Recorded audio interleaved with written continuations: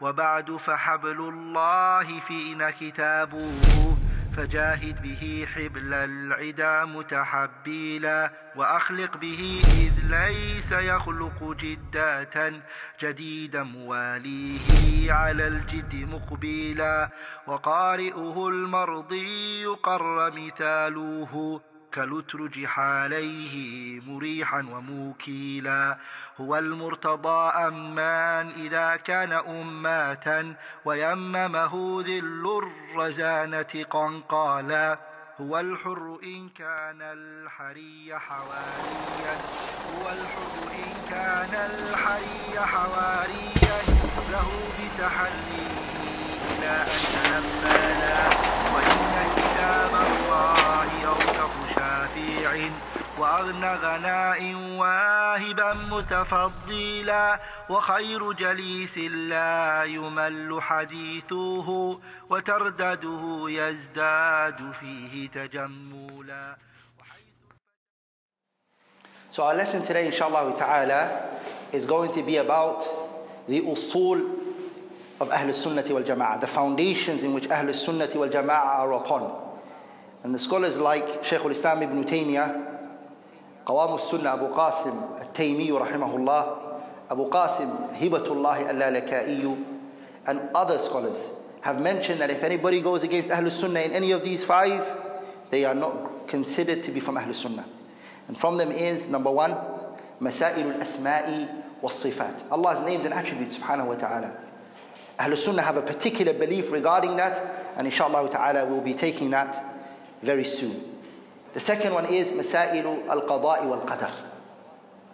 That which Allah subhanahu wa ta'ala destined for you, Ahlul Sunnati wal Jama'ah also have a particular belief regarding it, and we'll be discussing that soon, inshallah ta'ala. The third one is Masailu al-Asma'i wal-Ahkam, names and rulings.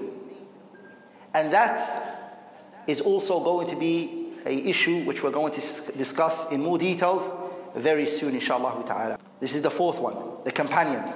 What does Ahlul Sunnah wal Jama'ah believe regarding the companions and the belief of the companions? And the last one, inshallah ta'ala, is Al-Wa'd wal-Wa'id. Each and every one of these topics might be very complicated for you. You may not understand it, but when we go into more details and we understand it and we discuss it, you shall, inshallah ta'ala, see uh, what it means, these points. Does every one of you here, inshallah ta'ala, understand these points?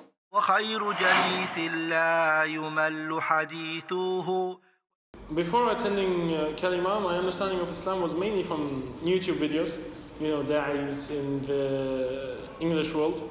Uh, before attending Kalima, I had understanding of Islam. I did not have any I had understanding from here and there. I, I did not have any proper understanding of Islam, what to follow exactly, who to follow exactly, but I used to hear from uh, people something else, other people something else like that.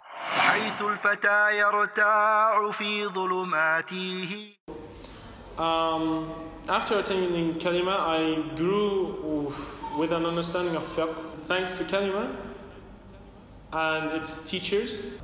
After attending Kalima, I have now uh, I have understood which way to follow, how to follow the deen, and who are the authentic sources to follow uh, Islam. After attending Kalima, I now understand how to follow Islam. I mean, uh, many of the things. I mean, uh, what, are the important things that we should look at when we're choosing someone to follow, when you're choosing a scholar, or when you're choosing to study under someone? What, what are the things you have to look at, and how, how do we follow Islam the correct way, and that we do not take uh, evidence from anyone and everyone. من القبر يلقاه سنا متهللا I would recommend kalima to a person because it is not only for the seekers of knowledge, it is also for those who want to benefit and improve their lives and worship Allah better. And also, Kalima has amazing events that you can send your children to. So, this can help them grow into being proper Muslims. This can help them grow into being proper Muslims. It's one of the best sources available right now for the non Arabic speakers for seeking authentic knowledge. أبدأ بالحمد مصليا على محمد خير نبي أرسلا وذي من أقسام الحديث عدة وكل واحد أتى وحد أولها الصحيح وهو ما اتصل. إسناده ولم يشد أو يعل. يرويه عدل ضابط عن مثله. معتمد في ضبطه ونقله. والحسن المعروف طرقا وغادت. رجاله لا كالصحيح اشتهرت. وكل ما عن رتبة الحسن قاصر فهو الضعيف وهو أقساما كثر وما أضيف للنبي المرفوع وما لتابع هو المقطوع. والمسند المتصل الإسناد من راويه حتى المصطفى ولم يبن. وما بسمع كل راوي يتصل إسناده للمصطفى فالمتصل.